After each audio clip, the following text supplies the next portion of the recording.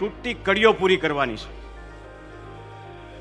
અને જે તૂટતી કડીઓ છે, એની ઘણી બધી વાતો અહીંથી તમારે લગી પહોંચી છે, હું એને રિપીટ નહીં કરું. પણ આજે જ્યારે આપણા સાતમા વર્ષમાં મંગલ પ્રવેશ કરી રહ્યા છીએ ત્યારે આ ખોડલધામ પરિસરની અંદર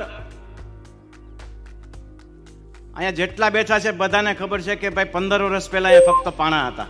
મોટી મોટી શિલાઓ હતી. પણ આપણા બધાના સૈયારા પ્રયાસથી એક રાષ્ટ્રને અર્પણ કરેલું આ એક આવું સરસ પરિસર છે. ત્યારે જ્યારે આપણી વચ્ચે અનારબેન બેઠા છે,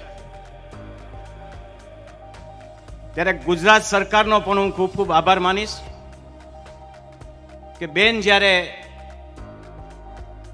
આપણા વડીલ બેન આનંદીબેન પટેલ જ્યારે મુખ્યમંત્રી હતા, ત્યારે તેમને આ શક્તિવાના પરિસરને ભેટ આપ્યું છે. એ જ રીતે પાણીની ઘણી તકલીફ હતી, એ પણ પાણીની લાઇનની પણ વ્યવસ્થા બેન કરતા ગયા ત્યારે આખા ગુજરાત સરકારને હું ખૂબ ખૂબ આભાર માનું છું. અને એ જ રીતે વર્તમાન મુખ્યમંત્રી શ્રી ભાઈ શ્રી ભૂપેન્દ્રભાઈ, આપણે હમણાં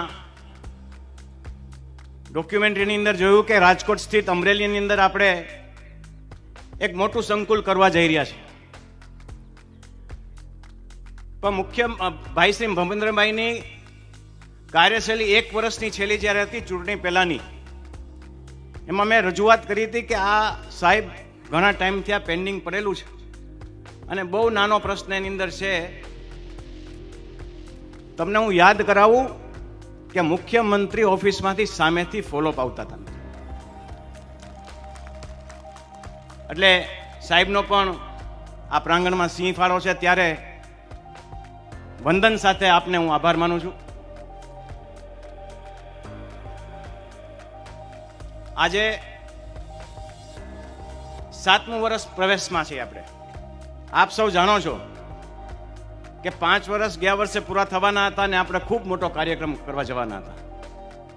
અને ત્યાં જ દસ દિવસ પહેલાં ફરી લોકડાઉનની સ્થિતિ આવી અને આપણે એ કાર્યક્રમ ઓનલાઈન કરવો પડ્યો હતો. ત્યારે આજે ટ્રસ્ટી મંડળને એક એવો વિચાર આવ્યો છે કે હવે સાત, આઠ, નવ આટલા વર્ષો આપણે જવા દઈ નાના મોટા કાર્યક્રમ કરી, પણ એક ખૂબ મોટો અને ખૂબ ભવ્ય દશાબ્દી મહોત્સવ આ ખોરલધામ ઉજવે. ત્યારે આ દશાબ્દી મહોત્સવ કેવો હોય હોવો જોઈએ? કેટલો મોટો હોવો જોઈએ? એની અંદર શું શું પ્રકલ્પો આપણે આપણે વાત કરવાના છે કેટલા પૂરા થવા જોઈએ? એની બધી વિચારણા, એના બધા નિયમો એ બધાની ચર્ચા આજથી ટ્રસ્ટી મંડળ કરવા લાગશે. તો આપણે બધા આજથી એકવીસ એક બે હજાર સત્યાવીસના દશાબ્દી મહોત્સવમાં આપણે બધાને લાગી જવાનું છે. અને હમણાં જ આપ સૌએ ડોક્યુમેન્ટરીમાં જોયું કે ખોડલધામ ફક્ત મંદિર નહીં રહી જતા આપણે અમરેલી અહીં અમરેલીના ઘણા બધા છે. તમારું નહીં, રાજકોટ નજીક અમરેલી છે એ અમરેલી ગામે લગભગ પચાસ એકર જગ્યા ખોડલધામ ટ્રસ્ટે ખરીદી લીધી છે. અને એમાં શિક્ષણ અને આરોગ્યના ખૂબ મોટા ભવનો બનાવવાની તૈયારી થઈ ચૂકી છે. ટૂંક સમયમાં એનું આપણે ખાતમુહૂર્ત પણ કરવા જવાના છે આ જ રીતે ઉત્તર ગુજરાત, મધ્ય ગુજરાત, દક્ષિણ ગુજરાત. આ જ મોડલ ઉપર ત્યાં પણ ખોરલધામ ટ્રસ્ટ ડેવલપમેન્ટ કરવા જઈ રહ્યું છે.